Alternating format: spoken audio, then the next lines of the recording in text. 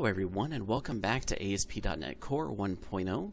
My name is Steve Bishop and in this video we're going to be continuing our discussion on ASP.NET Core identity roles. So in the last video we talked about how to add roles to our application but now we want to start actually filtering out the access to the different sections of our application using those roles that we assign. It turns out this is a pretty simple thing to do, so this video shouldn't be too long. Let's go ahead and hop right into Visual Studio and get started. So I went ahead and added a few additional roles to our application in our seed method. So I went to our user role seed class, and under the seed method, I added an admin and employee role to our application. And I did this just simply by copying and pasting what we did here to find if a member was there and add it if they weren't there. But really, I probably should have, you know, refactored this out to its own separate function and called it three times with, uh, you know, the three different types of roles. But, eh, whatever. I felt like being lazy and just doing it this way for right now. Anyway, moving on. Now that we know that we've got those three roles in here, how can we use them to our advantage to filter out the different sections of our application? Well, if we go to our member home controller, you may recall that we added this authorize attribute to the index action and the access granted action.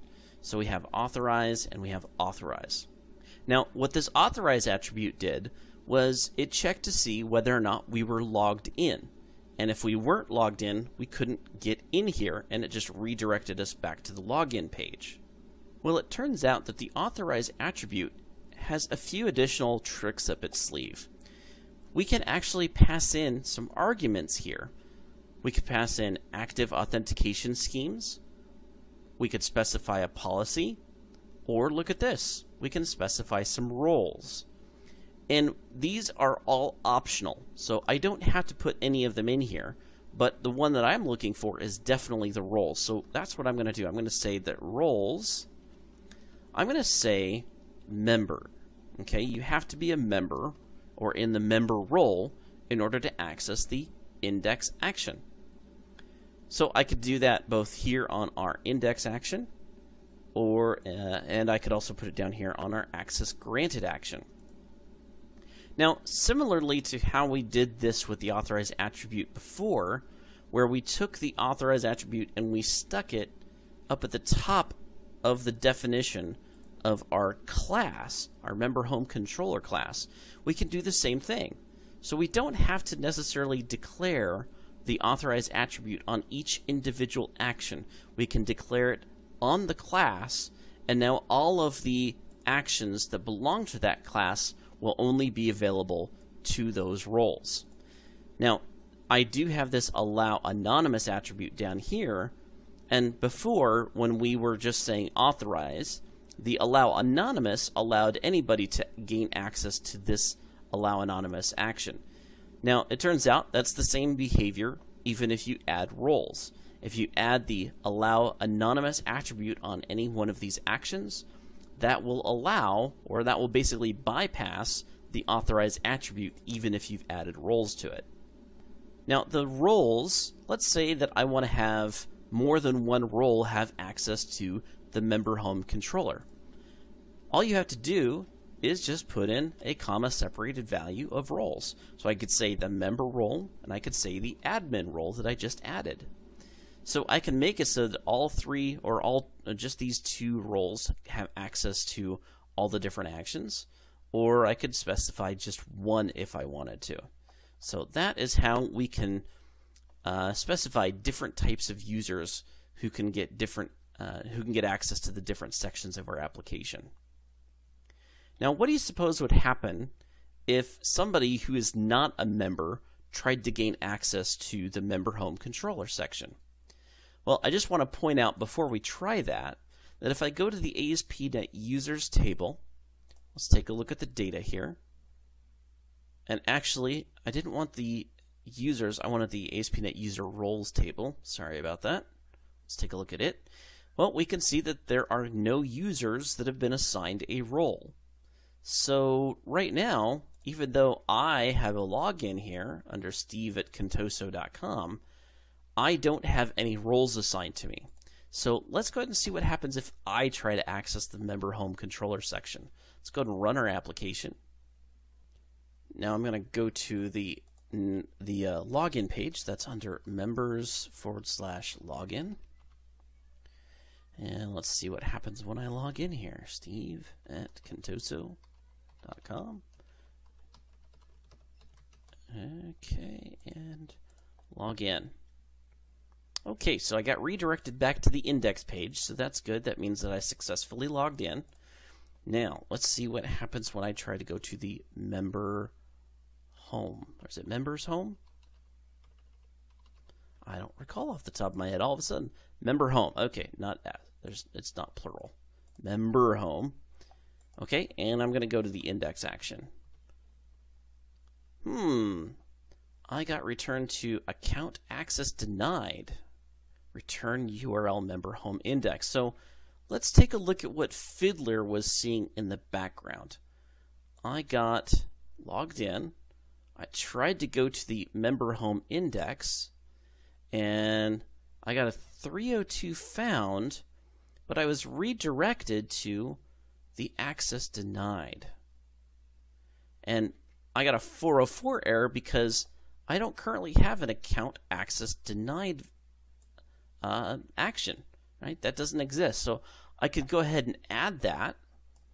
Uh, let's see, account controller. I have to have an access denied. So this is an action that by default ASP.NET Core Identity wants to use when I am not allowed into a particular section. But I didn't code it up yet anywhere in my application. So I'm going to go ahead and do that now. Let's go ahead and do a public uh, action result. And what was the action name? Access denied. Okay, so let's go ahead and add that. Access denied.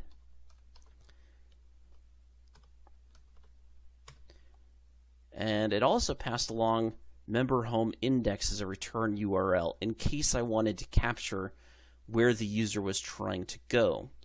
So I don't really want to do that. Instead, I'm just going to do return view. And I'm just going to make this a simple little access denied page. So we'll go to our views, go to account, add a new view. And this is an MVC view page called access denied.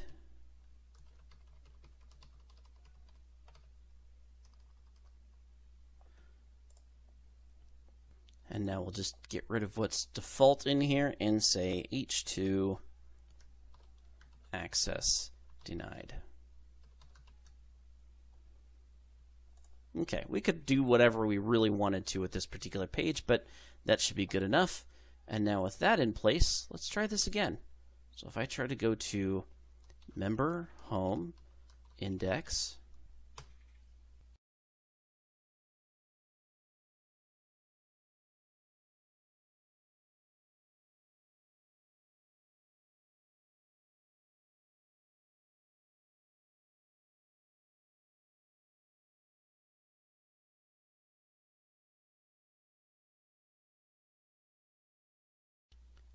And sure enough, there's our access denied.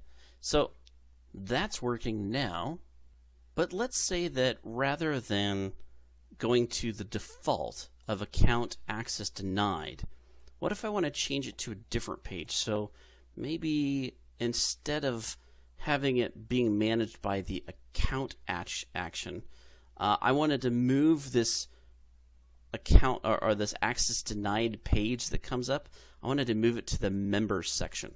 How would I do that? So we've done something similar when we were trying to redirect the user to the login page, right? We had a default page that would come up if uh, you know if somebody was denied access to a particular section because they hadn't yet logged in. I want to do the same thing, but now I want to do it for access denied. So I'm going to move my access denied HTML to the members section because that's where I actually want it to be managed in my case. Now, it may be different for you guys. You may not want to do it that way. Maybe you want to use the account controller to do it, but I'm just going to do this. I'm going to take this out here. I'm going to move it out of the account controller. And I'm going to go to the, did I say members? I wanted to do the member home, didn't I? I, I put it in the, well, I could do members. That's fine. That makes sense to me. So let's do members controller. Okay. And we'll go to, after the login, we'll do right there, access denied. Okay. Now, how do we change this? How do we change it so that the default action is not to go to account controller and look for access denied, but rather it goes to the members controller and looks for access denied? Well, that is found in our startup, where just like we did here, where we set the login path to members forward slash login, we can add an additional option here. So I need to do this as an extension of the lambda expression. So right now the lambda expression options goes to options cookies application cookie login path. I actually want to do more operations on inside of this lambda. Okay, so in order to do that, I'm going to use the curly braces to specify that there are multiple actions being done inside this lambda expression. And now I'm going to do options, cookies, application cookie, and look at that. Access denied path. Okay, so now we could just say, well, that should be now members access denied. Oops, D. All right. Let's finish that off with a semicolon. Let's save it. And I'm going to go ahead and restart our application because even though it's going to compile, since that's a startup item, I'm not sure that it's going to get that new configuration. So I'm going to start with without debugging here. And now before I log in or anything, I'm just going to clear out my Fiddler so that we can see all the fresh requests that we get. Let's go to the login page. So it was members forward slash login. I'm going to log in. Oops. Steve at contoso.com. And password. Alright, log in. Alright, so we successfully logged in. Now what happens if we try to go to member home forward slash index we get redirected to access denied, but notice the URL now is members forward slash access denied. So that is how you can change the location of whenever you have a an access denied, you can redirect them to that particular page and put it anywhere that you want inside of your application. So let's take a quick look here at Fiddler because I wanted to show you this. There's our login. Or, you know, here we've we requested the login. We got redirected to the main page here. Let's get rid of that. So there's our main page. When we tried to access member home, we got a 302 found, but we were redirected to the members access denied. Okay? And then that, of course, pulled up a 200 when we tried to go to it. So there you guys go. I hope you guys enjoyed this video. If you please, if you did, please don't forget to hit that like button, you know, and don't forget to subscribe to the channel so you can get notified whenever whenever there are new videos that come up. Thank you so much for watching, and I hope to see you guys in the next video. Bye bye. If you would be interested in early access to our videos, live monthly Q and A's, your name in the credits, or one-on-one sessions, please visit us on Patreon at patreon.com forward slash programming made easy.